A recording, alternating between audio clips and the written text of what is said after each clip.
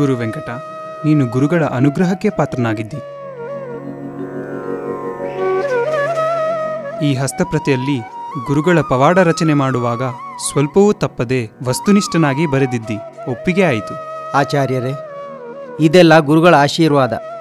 ಅವರ ಆಶೀರ್ವಾದದಿಂದಲೇ ನಾನು ಸಂಸಾರಿಯಾದೆ. ಅವರೇ ನನಗೆ ದಿಕ್ಕು.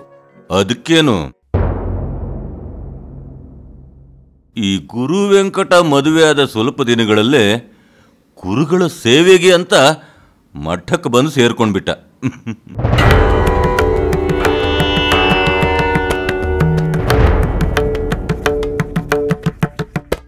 ಇನ್ನು ಇವನ ಮಕ್ಕಳು, ಇವನು ಎಲ್ಲ ಮಠದಲ್ಲೇ.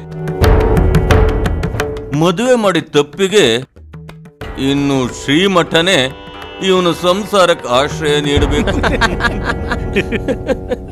ಆಚಾರ್ಯರೇ. ನಿಮ್ಮ ನಾಲಿಗೆ ದಿನೇ ದಿನೇ ಹದ್ದು ಮೀರುತ್ತಿದೆ ಅಂದು ವಿದ್ಯಾರ್ಥಿಗಳಲ್ಲಿ ಭೇದ ತಂದ ದಿನವೇ ನಾವು ನಿಮಗೆ ಬುದ್ಧಿ ಹೇಳಿದೆವು. ಇಷ್ಟಾದರೂ ನೀವು ದಾರಿಗೆ ಬರಲಿಲ್ಲ. ಇಡೀ ಶ್ರೀಮಠವೇ ಒಂದಾಗಿ ದ್ವೈತ ಸಿದ್ಧಾಂತದ ಪ್ರಚಾರದತ್ತ ನಡೆಯುತ್ತಿರುವಾಗ ನೀವು ಕೆಲವರು ಮಾತ್ರ ಬೇರೆಯಾಗಿಯೇ ವರ್ತಿಸುತ್ತಿದ್ದೀರಿ. ಇದು ನಮ್ಮ ಶ್ರೀಮಠದ ಪದ್ಧತಿಗೆ ವಿರುದ್ಧವಾದದ್ದು. ಇಷ್ಟು ಜನರು ಮಠದಲ್ಲಿ ಕಲಿಯುತ್ತಾ ಅವರ ಕೈಲಾದ ಸೇವೆ ಮಾಡುತ್ತಿದ್ದಾರೆ. ಅದರ ಮಧ್ಯದಲ್ಲಿ ಗುರು ವೆಂಕಟನ ಸಂಸಾರ ಹೊರೆ ಎಂದು ಮಠವೇ ಭಾವಿಸಿಲ್ಲ. ನಿಮ್ಮದೇನು ಮಧ್ಯದಲ್ಲಿ? ನಿಮಗೆ ಈ ಮಠದ ಆಚರಣೆ ಇಷ್ಟವಾಗದಿದ್ದರೆ ಹೇಳಿ, ಗೌರವದಿಂದಲೇ ನಿಮ್ಮನ್ನು ಇಲ್ಲಿಂದ ಹೊರಗೆ ಕಳುಹಿಸುತ್ತೇವೆ.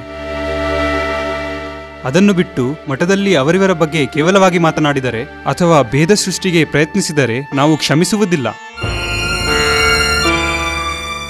ಹಿಂದೆ ಇದೇ ಶ್ರೀಮಠದಲ್ಲಿ ಕೆಲವರು ನಡೆದುಕೊಂಡ ರೀತಿಯಿಂದ ಕಟ್ಟಿಕೊಂಡ ಪಾಪವನ್ನು ಸವಿಸಿದ ರೀತಿ ನಿಮಗೆ ತಿಳಿದಿರಲಾರದು. ಹೌದು ಇವರಿಗೆ ಕೇಶವಾಚಾರ್ಯರು ವರದಾಚಾರ್ಯರ ಕಥೆಯನ್ನ ಹೇಳಬೇಕು. ಆಗ ಇವರಿಗೆ ಶ್ರೀಮಠದ ಶಕ್ತಿ ತಿಳಿಯುತ್ತೆ. ಈ ಶ್ರೀಮಠಕ್ಕೆ ಅಭಿಮಾನಿ ದೇವತೆಗಳಿದ್ದಾರೆ. ಅವರು ಇಲ್ಲಿ ನಡೆಯುವ ಒಳೆತು ಕೆಡುಕುಗಳನ್ನು ಲೆಕ್ಕ ಹಾಕುತ್ತಿರುತ್ತಾರೆ.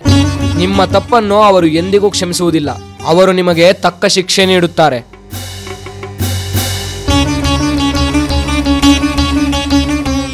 ಇನ್ನು ಮುಂದಾದರೂ ಸರಿಯಾಗಿ ನಡೆದುಕೊಳ್ಳಿ.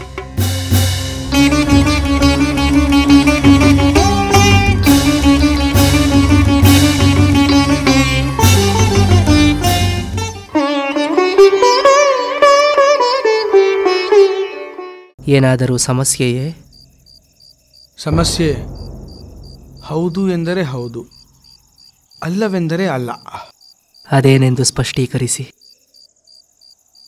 ಗುರುದೇವ ತಾವು ದಿಗ್ವಿಜಯದಲ್ಲಿದ್ದಾಗ